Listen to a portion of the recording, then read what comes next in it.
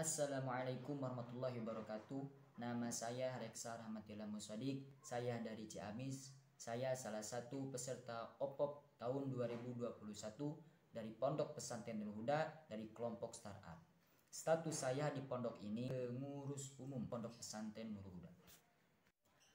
Pondok Pesantren Nurul Huda didirikan pada tahun 1992 oleh kiai yang bernama Kiai Yai untuk saat ini, jumlah santri yang mondok di Pondok Pesantren Nurul Huda ini kurang lebih sejumlah 100 orang. Program studi yang diambil oleh Pondok Pesantren Nurul Huda ini yaitu dengan mempertahankan sistem pesantren salafi, salah satunya dengan mengkaji kitab-kitab kuning dan yang lain-lainnya. Alasan dasar saya memulai usaha ini yaitu yang paling utama untuk mencukupi kebutuhan para santri di Pondok Pesantren Nurul Huda ini dan lebih memudahkan para santri untuk memenuhi kebutuhannya tersendiri. Dan visi saya ke depannya ingin menjadikan supaya usaha yang saya jalani ini semakin besar, semakin maju, dan bisa memproduksi lebih banyak lagi. Dan menjadikan pesantren Nurul Huda ini menjadi pondok pesantren Nurul Huda yang mandiri dari segala apa pun.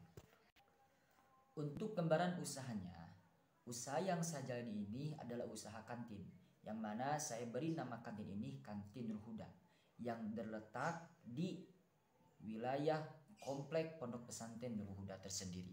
Untuk gambaran produknya, salah satu produksi dari Kantin Nurhuda yaitu produk makaroni, yang saya beri nama makaroni Bantet.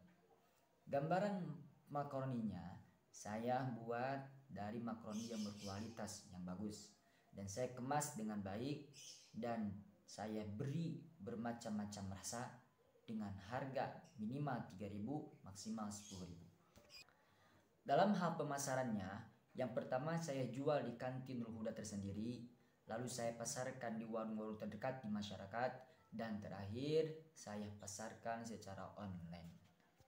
Sedangkan yang terlibat dalam usaha ini yaitu yang pertama para alumni, para santri, dan pengasuh pondok pesantren Nurul Huda tersendiri.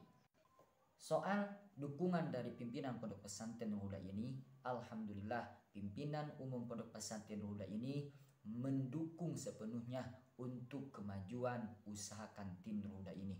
Nilai-nilai yang bisa diambil dari usaha ini mengambil pelajaran dari Rasulullah SAW yang mana beliau dalam berdagang selalu jujur. Soal dukungan dari masyarakat setempat, alhamdulillah masyarakat setempat mendukung.